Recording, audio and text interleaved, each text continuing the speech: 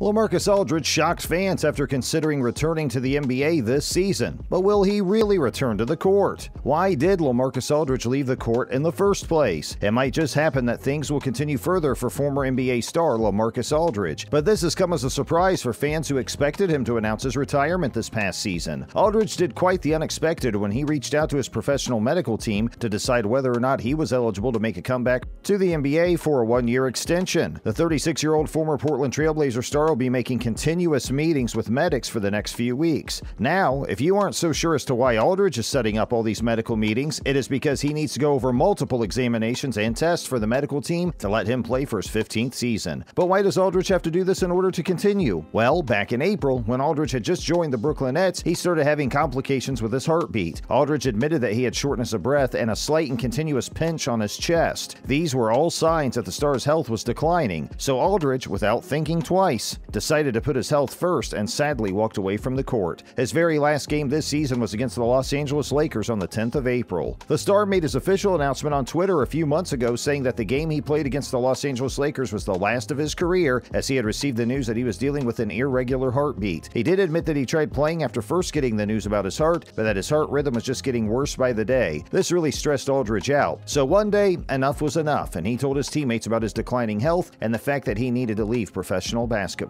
However, Aldridge did also admit that he had not only been dealing with irregular heartbeats during games, he described that one night while he was about to head off to sleep, a sharp pain struck his chest, giving him severe pain. According to Aldridge, this was one of the worst pains he had ever experienced in his life. This moment was what really pushed him to leave the NBA. After 15 years straight playing basketball, Aldridge said that he was now going to focus more on his family life and his health. Aldridge is by no doubt considered as one of the best players in his era, showing his best performance in Portland, where he stayed for nine seasons. He's averaged 19.4 points, 8.2 rebounds, and 2 assists in his career and is a seven time All Star. It is still unclear as to what Aldridge's future holds and whether or not he will be returning to the court again, but if he is to get a thumbs up from his medical team about his health, we will surely see him again. Unfortunately, Aldridge's last game with the Lakers ended in a loss, and there's a good reason why. Kyle Kuzma recently revealed the best Lakers player ever, and no, it's not LeBron James. Okay, so you probably have heard the news that Kuzma is no longer a part of the Los Angeles Lakers. This means it is more than okay to give us some unrevealed secrets in his time working with the purple and gold. Lately, he opened up about what it was like after becoming a member of the Washington Wizards. Fans were dying to know more about his experience with the Lakers, especially his relationship with Kobe Bryant. Kuzma opened up about who he thought was the best Laker player of all time, and his response wasn't exactly what fans had predicted. He said that the best Lakers teammate who he has ever worked with wasn't LeBron, but Lakers veteran Jared Dudley. Kuzma claimed that Dudley was definitely one of the most outspoken NBA players who looked as if he would have a better career in broadcasting when he finally left the court. Kuzma made clear that he and Dudley would make the perfect duo each and every time, ultimately crushing it every single game. So there isn't really any doubt about the players' relationship was a solid one. For some fans, choosing between the best player being LeBron or Kuzma and Dudley is a really tough choice. What do you guys think? Anyway, apart from that, there is something much more sinister happening in the NBA right now. NBA has recently opened investigations for sign and trade deals. In these past few days, the NBA has opened an investigation case after suspecting a possible violation has been made that involves two sign and trade deals completed in free agency Miami's acquisition of Toronto's Kyle Lowry and Chicago's acquisition of New Orleans' Lonzo Ball. The NBA superiors actually believe that Lowry and Ball have been associating illegally during the opening of NBA free agency just this past week. Secret sign and trade arrangements are prohibited in the NBA and can cause serious consequences, such as the suspension of team executives, fining the problematic team up to $10 million,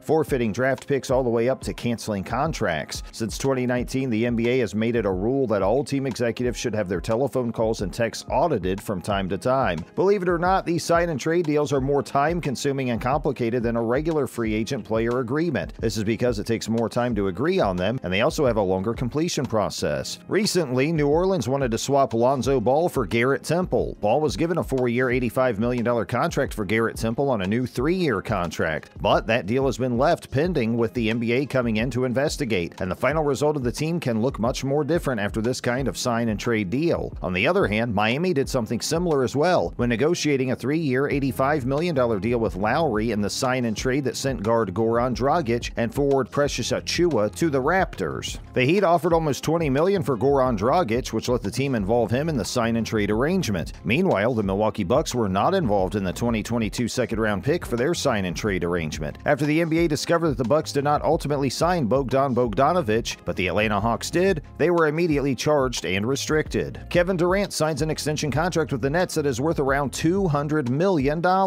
It has been made official Durant will be a member of the Brooklyn Nets for the next following years. The NBA star recently signed a contract extension with the Nets with a pretty good deal. Durant will now play with the team for the next four years on a contract that is precisely worth $198 million. This contract extension will start in the next NBA campaign held in 2021 2022. So, for this, Durant will most likely cancel his player option for the 2022 and 2023 seasons. Brooklyn Nets Governor Joe stated that Kevin Durant will begin his legacy in Brooklyn as one of the greatest ever. Meanwhile, general manager Sean Marks also claimed that Kevin is a transcendent talent who continues to drive and push this franchise in the game of basketball globally. We are thrilled to continue our partnership with him for years to come. Kevin's impact both on and off the court cannot be overstated. His unparalleled drive and leadership generate sustained excellence from himself while also elevating the performance of his teammates, positioning this organization to continue the pursuit of our championship goals in Brooklyn. At the moment, Durant is 32 and is coming in strong for the Brooklyn Nets with an average of 26.9 points, 7.1 rebounds, 5.6 assists, and 1.3 blocks per game. But the athlete was limited to only 35 season appearances after the whole coronavirus protocol and the fact that he got injured during a match that he suffered during the NBA Finals held in 2019. This was back when it was still his first season playing for the Nets. But the player proved to everyone that he had the star in him after he averaged 34.3 points and 9.3 rebounds per game in the postseason. However, even though he had such an impressive play, his team still got defeated by the Milwaukee Bucks in the semifinals of the Eastern Conference. But Durant won't be the only lucky player to have signed an extension with the Nets. Kyrie Irving and James Harden will also be able to sign an extension contract with the Nets. This is because both players have open options for the 2022 and 2023 seasons, just like Durant did. It is still too early to talk about both Irving and Harden, but Durant sure expects them to follow in his footsteps. When recently asked about the future of both players, Durant said that he is convinced that they will extend their contracts also, as all three of them give the team the life rather than the strength that it currently has. Durant also added that all three of them love playing with each other, but the chances are that up until Irving and Harden have good health, they will likely continue their journey with the Brooklyn Nets. That is all for today, guys. If you want to know more about the latest NBA news, check out our next video. Oh, Blake Griffin!